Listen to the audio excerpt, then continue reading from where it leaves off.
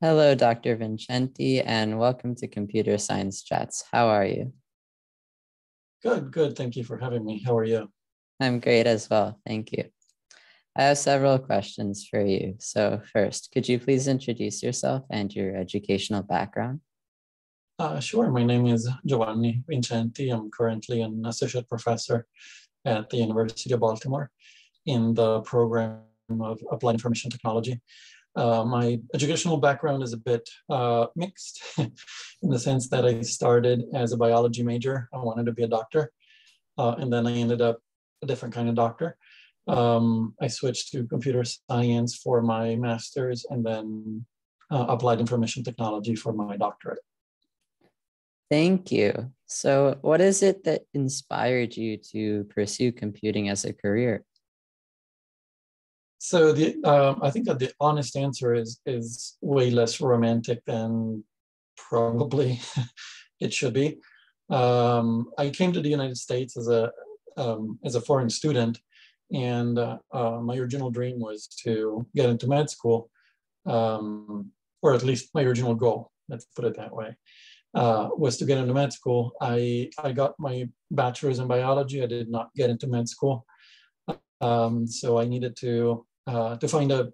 I, I really enjoyed being here in the United States. I wanted to stay longer. Um, I had to find quickly something that um, made sense. And at the time, um, bioinformatics was starting to become big. So since I, I, I was okay at tinkering with computers and I understood at least the foundations of biology, I said, yeah, let's try with uh, computer science. And then um, the interest in bioinformatics did not last long, but the love for computer science definitely uh, kind of blossomed after that point. That's very interesting. So, how would you describe uh, computer science or computing fields in general? Um, I, I, think that a, a, single description is probably uh, a bit too uh, ambitious. Um, my um, my field, my my primary uh, occupation is is in teaching information technology. So I would very much um, define information technology as basically problem solving um, on, um, of course, using computers. Um, also, in particular, I um, teach all the computer programming as well as database courses. So to me, it's uh, it's about creating, it's about producing, it's about tackling problems and getting them solved through computing. Uh, of course, if, if we look into computer science, that tends to be uh, pure computer science, that tends to be more theoretical than, than anything. Um, but for me and, and my students, I usually try to focus on the problem solving aspect that computers may bring to everyday life. Yeah. Could you describe some of the activities that you do through your work? Uh, sure. So I um, the, the the work itself is is relatively uh, similar to other um, academics in the sense that I have a certain amount of, of time that I spend teaching. Uh, that's usually about 60, 70% of my time. And then um, there's quite a bit of time uh, that I spend admin, on, on, administrative tasks. Uh, and then, of course, research as well. Um, the, the part where I do try to make things a bit more interesting for myself and for my students are, um, of course, during the teaching uh, component. But lately, I've been trying to join my, uh, my research as well. Um, originally, I was interested in data mining, uh, and I still am interested in data mining. Uh, however, the necessities of my job required that I focus on education. So I, I started looking into project-based learning and how to create very applied, very concrete experiences for students. And that's that's basically where I spend a significant amount of my time. Um, we have a, a, couple of projects that are very hands-on, um, and um, our students are quite happy. Um, and they they develop skills quite quickly as well, so they, they tend to get really nice uh, positions afterwards, and uh, um, so that makes me happy. Yeah, thank you. What do you like most and what do you find most challenging about these activities?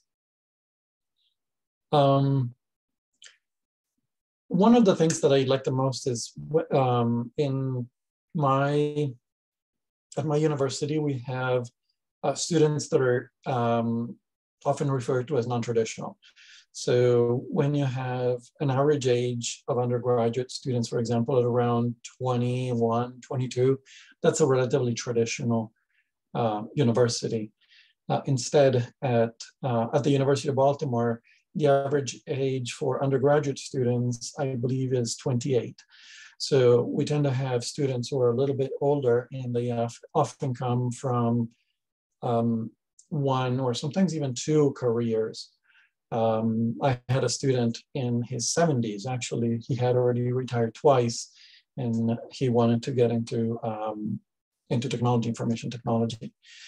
Um, but uh, seeing these, these students kind of change the direction of their lives from whatever it was before to information technology is, is quite rewarding. the, uh, the challenging part is actually um, very much the same in terms of the, the background. Um, so older students um, who need to be sent to the workforce or onto their graduate degrees quickly. Uh, but of course, they don't have years and years of experience. For example, like uh, yourself, who may uh, who may have already spent several years uh, in in uh, at least preparing your your um, foundations in computing. Uh, we may have some students who are completely new. they have a family and they need to get a job as soon as they graduate. So um, preparing those students can be a bit challenging. That's very interesting. What advice would you have for high school students who would like to get into this field? Um, I would say don't go into this field with um, just a, a, a, field that you are going to um, just kind of put your blinders on and forget about everything else. Um, there are so many advancements that are um, really blossoming into new avenues of research every um, every few months or every couple of years. That um, if if somebody says, okay, for example, let's take myself as a as a I guess um, guinea pig, so to speak. If I just had focused on bioinformatics, bioinformatics, bioinformatics, uh, I would have missed so much more, and especially I wouldn't have um, the, the, the joy of teaching. And for example, now I'm, I'm doing a bunch of things with augmented reality and uh, that has nothing to do with bioinformatics. I'm, I'm doing things with artificial intelligence a little bit. Um, so it's, um, I would recommend, since it's such a dynamic field, just kind of um, have your ideas somewhat clear, but don't don't put your blinders on. Don't um, don't forget to to kind of look around and see what else could be interesting out there. Thank you. Where do you think that computing ed, where do you think that computing is going to go in the future? Uh, I think that's the um, that's a question I'm not sure I should answer. Um, because I've always been wrong in the past about this, if anything. Um, I hope it will be more of, um, of service to humanity uh, in the sense that I hope that we're going to go back to the main concept of computing being a helpful tool rather being than it being an end to whatever means. Um, and um, I'm, I'm, sure at some point you have uh, watched the movie Terminator. So um, I'm, I'm, I do not think we're going to have Skynet anytime soon.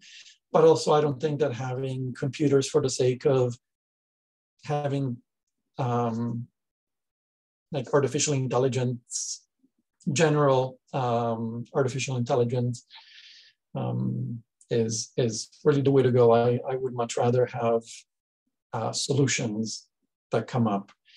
Um, of course, some will argue general artificial intelligence will come up with solutions to other problems, sure. Uh, but there is there is definitely a. I hope there's going to be uh, a return to to technology as a way to improve our lives rather than just focusing on technology for the sake of technology. Yeah, and that also leads into my next question. Where do you think that computing education is going to go in the future? Uh, something that I have uh, pleasantly observed over the last few years is, is a very um, significant uptake in um, computer science education positions. So what used to be um, college level instructors or professors who are dedicated to their discipline, whatever that discipline may be, um, they have to teach because that's just what the job required. And then they could do research in whatever field they wanted. However, in the last few years, uh, and especially in the last two years, I must say, I've seen a lot of positions um, for computer science education faculty. Um, so basically, people who are interested in, in teaching computer science or improving how we teach computer science. So I'm, I'm very hopeful that um, if anything, there's there's going to be a um, lowering of the of the barrier that some people experience. Um, for example, whenever I teach uh, data structures, uh, that seems to be a very abstract concept, even though everybody knows how a queue works at the bank or how a stack of plates uh, works whenever you go to a buffet. But whenever we are talking about implementing all these um, data structures and code, then people get lost. And that's, that tends to be one of the, the weeder courses where, where students kind of give up. Um, but hopefully we're going to have better tools to, to let people experience or, or grasp those concepts, looking at them from different perspectives. And I think that computer science education educators that are into computer science education will be extremely helpful towards that. So I'm, I'm hopeful there will be a, um, a greater interest in computer science uh, simply because people are not going to find it as, as difficult as uh, sometimes it sounds. Thank you very much for meeting with me and for being willing to do this interview. Oh, sure. Thank you.